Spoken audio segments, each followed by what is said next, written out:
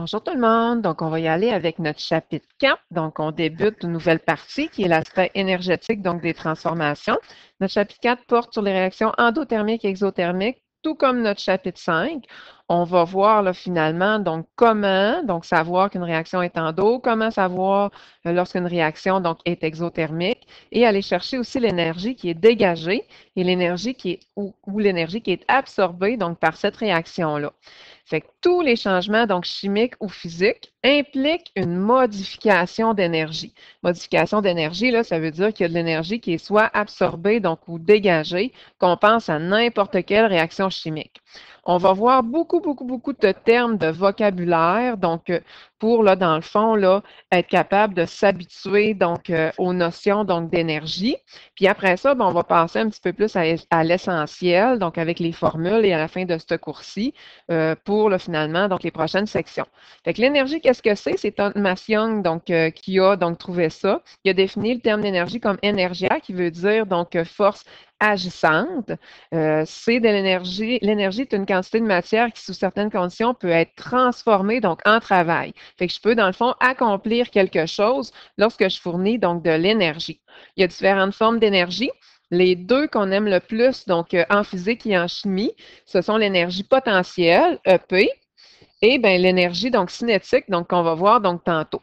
L'énergie potentielle, c'est l'énergie emmagasinée. Donc, l'énergie qui est emmagasinée, donc au niveau des, molécules, au niveau, là, finalement, donc euh, d'un objet, comme par exemple un livre ou une balle, qu'on laisserait donc tomber. L'énergie, donc potentielle, vous l'aviez vu l'année dernière, donc ça se calculait la masse fois le G, donc fois la hauteur. Nous, on ne la calculera pas, donc en chimie. Qu'est-ce qui est important de savoir en chimie? C'est que l'énergie potentielle, c'est les liens contenus en dedans de la molécule intramoléculaire et entre les molécules, inter, là, finalement, donc moléculaire. Fait que ça veut dire que n'importe quelle molécule, donc avant de la briser, ben c'est sûr, a sa propre donc, énergie, donc potentielle. L'énergie cinétique, EK, qu'est-ce que c'est? C'est l'énergie associée au mouvement mouvement d'un objet, au mouvement finalement donc d'une molécule ou d'une particule. Ça se calcule en faisant une demi fois la masse fois la vitesse, donc au carré. On n'aura pas besoin de la calculer donc en chimie. Tout ce qu'on a besoin de savoir, c'est qu'en chimie, ben, c'est la somme de toutes, toutes les, les énergies des trois mouvements finalement qu'on a vus. La vibration, donc qui commence lorsque le zéro absolu, hein, zéro Kelvin, donc est un petit peu donc dépassé. Ensuite, il y a la rotation qu'on va retrouver donc dans les liquides et les gaz, donc qui va commencer par exemple pour l'eau euh, à 0 degré Celsius. Puis la translation, quant à elle, va être associée donc au gaz. Hein? Puis ben c'est sûr qu'on va l'associer donc euh, au mouvement. Et lorsque plus il fait chaud, ben lorsqu'il fait chaud, plus finalement les mouvements donc, de translation, une rotation, une vibration donc, vont être, élevés, plus on va avoir besoin d'énergie cinétique. Fait que dans le fond, quand il fait froid, donc, il y a plus d'énergie potentielle, puis quand il fait chaud, au niveau des particules, il y a plus d'énergie, donc cinétique. Si, admettons qu'on pousse, pousse, pousse, pousse, pousse, bien regardez, à 200 moins négatif 273 Kelvin, euh, degrés Celsius, pardon, donc à 0 Kelvin, ben, il n'y a pas d'énergie donc cinétique, il n'y a rien, rien, rien, rien qui bouge, sauf que l'énergie donc potentielle donc est super, super, super grande. Fait que ça veut dire que les liens inter- et intramoléculaires sont à leur maximum d'énergie, donc potentielle.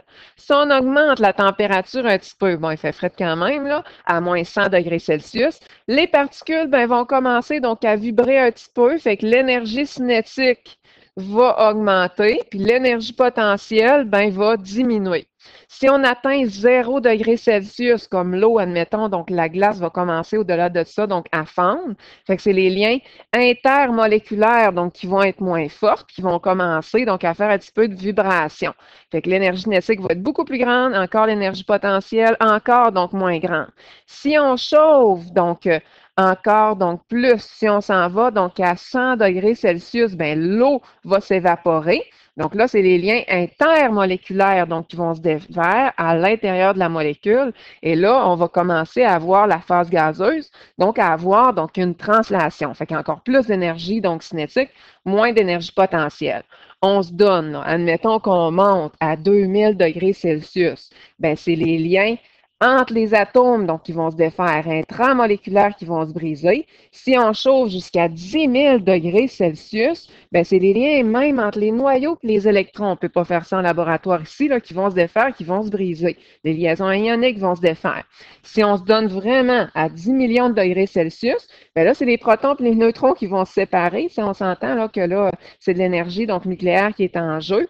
Ça veut dire que l'énergie potentielle serait quasiment donc nul, puis l'énergie donc cinétique serait à son maximum. Fait qu'on voit là que les deux énergies, dans le fond, peuvent exister simultanément dans un même objet. C'est comme moi, admettons, là, qui fais du ski là, sur une pente donc de ski, là, comme ça, là, avec mes skis. Puis là, ben, je le sais là, que haut, en haut de la montagne, je suis plein d'énergie, donc potentielle, à mon maximum. Mon énergie cinétique ben, est égale à zéro parce que je ne bouge pas. Plus je descends, moins je sais que j'ai de potentiel, hein? donc je suis vraiment pas bonne en passant donc au ski, fait que mon énergie potentielle diminue, mais je sais que je vais de plus en plus vite, puis je peux de plus en plus me tuer, fait que mon énergie cinétique augmente.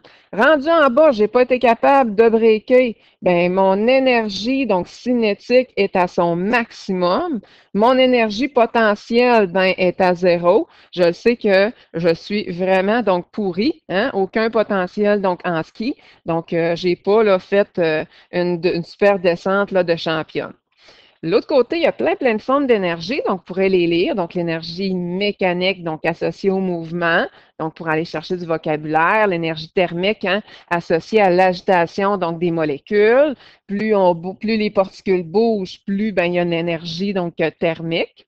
L'énergie électrique associée donc aux charges, donc électriques. L'énergie du, du, rayonnement associée au déplacement donc des ondes. Tout ce qu'on avait vu en secondaire 3, là. les ondes radio, les ondes radar, les micro-ondes, donc les rayons X, tout ça, les rayons gamma, donc euh, tout ce qu'il y a d'ondes électromagnétiques.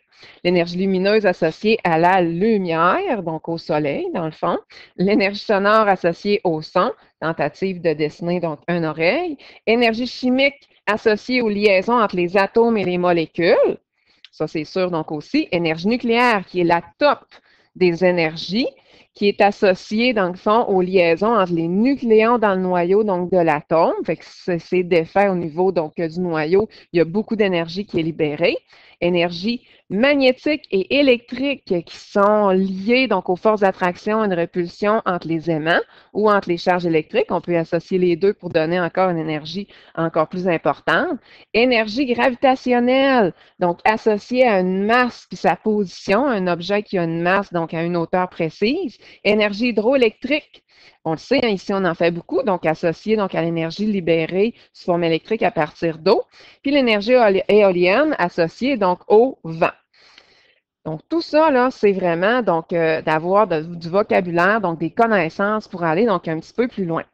L'énergie changement de matière. Donc, on nous dit qu'il existe trois formes principales donc, de changement d'énergie. Il y a les changements, un, sont physiques. Changement physique en passant, là, habituellement, ça va être de l'ordre de 10 exposants 1 à 10 exposants 2 kJ par mol qui va être libéré donc ou absorbé. Fait que dans ce temps-là, hein, donc on sait là, que les substances, ben, ça modifie lors d'un changement physique, les substances, donc euh, la nature, donc n'est pas modifiée. Donc, euh, c'est juste une transformation. Euh, au niveau, donc, dans le fond, donc moléculaire, ben, c'est juste les liens intermoléculaires, donc qui sont séparés, éloignés, donc ou changés, genre fusion, sublimation, solidification donc de l'eau. Donc, on voit là que notre petit bonhomme énergie est tout petit, fait que ça va procurer une énergie, donc quand même petite, absorbée ou dégagée. Pour ce qui est des changements chimiques, oh, là, notre bonhomme énergie, donc, est un petit peu plus gros parce que ça modifie la nature, la propriété caractéristique, donc, de la matière. Ça va être de l'ordre d'une énergie pas mal plus élevée. Et là, il y a une réaction chimique qui se fait genre de la rouille, de la chimiluminescence, de l'oxydation, de la synthèse, de la décomposition, fait que l'énergie est beaucoup plus intense. Pour ce qui est du troisième donc changement, ces changements donc nucléaires. Et là, là, l'énergie peut pas être plus à son top que ça. C'est de l'ordre même de 10 exposant 8. Euh, ça modifie le noyau même donc des atomes. Ça modifie donc l'atome. On parle de fusion et de fission donc nucléaire. Regardez donc juste l'équation là pour vous dire, on connaît même pas ça là, cette équation là. Donc on, commence avec l'hydrogène puis on se ramasse donc après avec des petits noyaux donc des petits des, des petits neutrons finalement là, qui sont libres. Puis on se ramasse donc avec un nouvel atome, donc qui est d'hélium. Fait que c'est quand même quelque chose. C'est un milliard de fois plus considérable que les réactions chimiques normales. En passant, il y a des changements donc chimiques qui sont spontanés, donc qui se font tout seuls, genre comme exemple la neutralisation. Une base d'un acide, on mélange ça, puis pouf, donc euh, ça se fait tout seul, pas besoin de brasser, pas besoin de mélanger, euh, pas besoin de mettre le feu, pas besoin donc de chauffer. Puis il y a des réactions qui doivent être amorcées. Amorcer, ça veut dire qu'il faut procurer de l'énergie donc, il faut finalement qu'il y ait de l'énergie qui soit absorbée pour que la réaction se fasse. Donc, euh, brasser, euh, chauffer, euh, mettre, une charge électrique pour que la réaction, finalement, commence. On va aller voir certains donc, vocabulaires donc, en lien avec les réactions exothermiques et endothermiques. Faire la différence entre qu'est-ce que c'est la chaleur et la température. Donc, vous pourrez lire ce texte-là, mais moi, je vous explique. Regardez bien ici. Lorsqu'on parle donc de température, donc température, là, c'est qu'est-ce qu'on voit sur le thermomètre. Souvent, là, on dit Ah, il fait chaud j'ai chaud la température est élevée. Bien, la température, c'est vraiment qu'est-ce que je vois donc sur mon thermomètre. Puis la chaleur, ben, c'est qu'est-ce qui est dégagé ou absorbé. Fait que ça veut dire que dans le fond, donc euh, je peux chauffer, chauffer, chauffer, chauffer, chauffer une, substance, y donner, donner donc sur une plaque chauffante là beaucoup beaucoup plus donc euh, d'énergie, comme par exemple de l'eau là que je pourrais faire chauffer. Sauf qu'au niveau de mon thermomètre, ben mon eau qui bout va atteindre 0 degré Celsius environ, puis va rester là. Fait que même si je procure beaucoup plus de chaleur, ben ma température, donc euh, sur le thermomètre, va rester égale. Fait qu'on voit là que c'est deux choses donc différentes.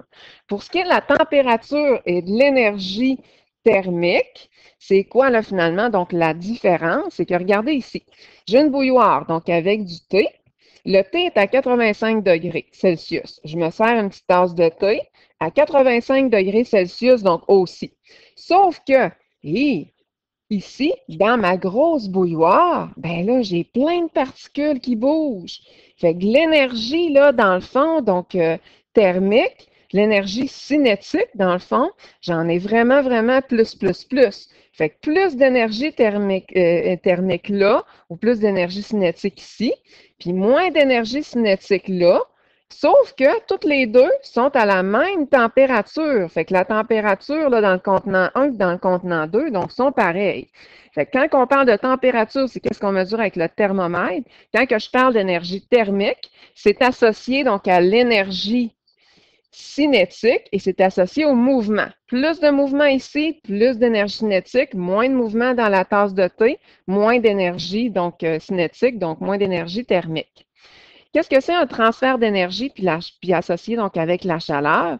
C'est que l'énergie, ben, c'est sûr que c'est une forme temporaire. L'énergie va s'écouler tout le temps spontanément d'une substance plus chaude à une température plus élevée jusqu'à une température donc plus basse. Prenons ici donc un petit glaçon. Un glaçon, donc la glace, de l'eau qui est gelée dans un verre d'eau. Ben, c'est sûr qu'au niveau de l'eau, la température est plus élevée. Le glaçon, ben, il est plus froid, la température est moins élevée. Fait que c'est sûr que c'est l'eau qui va se déplacer, qui va s'écouler spontanément du plus chaud au moins chaud. Ce qui fait en sorte que c'est l'eau qui va dégager de la chaleur, qui va être absorbée par le glaçon. Donc là, la température finalement donc, du glaçon donc, va monter. Puis la température, finalement, donc de l'eau, va baisser pour atteindre les deux, donc une température donc finale. Fait que dans le fond, là, l'énergie se transfère et souvent, c'est quand cette énergie-là est transformée, est transférée, qu'il va y avoir des transformations donc d'énergie. On a juste à penser donc à la chaîne donc alimentaire. Il y a deux façons de transférer de l'énergie. un, sous forme de travail et deux, sous forme de chaleur. Fait que nous, donc en chimie, ça va être davantage sous forme de chaleur. Il y a des facteurs, il y en a trois, qui influencent le transfert de chaleur. Ils sont ici. Regardez, ça, c'est les exemples qui sont en haut pour comprendre les trois facteurs.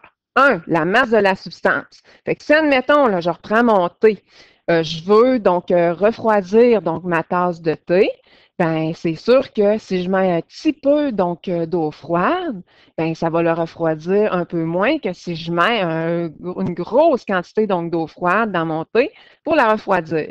Il y a aussi donc la variation donc de température. Fait que tout dépendant donc si mon eau que je vais mettre donc dans mon thé pour la refroidir ou mon lait que je vais mettre dans, ma dans, dans, dans mon thé pour le refroidir est super, super congelé, ou si peut-être que je mets un glaçon, bien c'est sûr que ça n'aura pas, ça pas le même effet. Et ça dépend de la nature de la substance. Si je refroidis mon thé avec de l'eau ou si je refroidis mon thé avec du lait, ça n'aura pas la même influence parce qu'ils n'ont pas la même capacité donc thermique massique, la capacité d'absorber donc la chaleur. Justement, à savoir que la chaleur absorbée ben, ou dégagée donc, par une substance donc, euh, va se retrouver soit absorbée ou dégagée par l'autre substance. Fait pour aller calculer cette énergie-là qui est dégagée ou absorbée, on fait Q est égal à mc delta T. On se rappelle comme l'année dernière, hein, la masse, c'est en grammes, la capacité thermique massique, c'est en joules par gramme de degrés Celsius. Et la température, hein, c'est fini, on n'est plus avec des gaz, là. On en revient donc euh, en degrés Celsius. Fait que si on annule les grammes et les grammes, les degrés Celsius avec les degrés Celsius, il reste des joules. Fait c'est pour ça que l'énergie, c'est en joules. Et si je veux transférer ça en kilojoules, ben, je vais diviser tout simplement donc par 1000. Un exemple ici, fait qu'on a un bécher qui contient une masse d'eau de 800 grammes en passant pour l'eau. Étant donné que la masse volumique de l'eau est de 1 gramme par millilitre, bien, ça veut dire que si j'ai 800 grammes d'eau, ben j'ai 800 donc millilitres. Donc, euh, autrement dit, ça peut être mon volume aussi, donc ou ma masse. C'est chauffé sur une plaque donc chauffante. Si la température de l'eau passe d'une température initiale de 20 à une température finale de 85, quelle sera finalement la quantité donc d'énergie d'eau absorbée euh, ou dégagée ou comme on veut, on cherche le Q? Fait Q est égal à mc delta T. Fait que je vais faire la masse donc 800, fois la capacité thermique massique de l'eau que je vais toujours, toujours, toujours vous donner. Si on va chercher, c'est une propriété caractéristique. Chacune des substances ont leur propre capacité thermique massique, fois la variation de température. Avec variation de température, je fais la température finale moins la température initiale. Je rentre ça ici, variation de température. Je multiplie, bien sûr, ça me donne des joules. Si je veux mettre ça en kilojoules, ben, il va falloir que je divise, comme je vous disais tantôt, par 1000. Principe de conservation d'énergie, fait que c'est sûr que s'il y a de l'énergie qui est dégagée, bien, cette énergie-là va être absorbée finalement par une autre substance. Fait Q absorbé, dans le fond, est égal à Q dégagé, ce qui fait en sorte que MC delta T absorbé est égal à MC delta T, donc dégagé.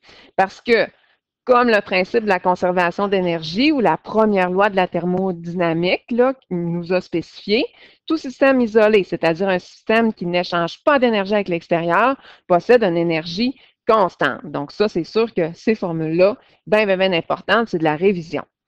Ici, donc on va aller se pratiquer donc avec, là, dans le fond, là, cette, euh, cet exemple-là, on nous dit, on mélange deux substances. On mélange premièrement de l'éthanol. Ça, c'est la masse de l'éthanol et la température de l'éthanol est à 20 degrés Celsius. Je mélange ça avec une autre substance. Ça, c'est comme ma substance 1. Hein?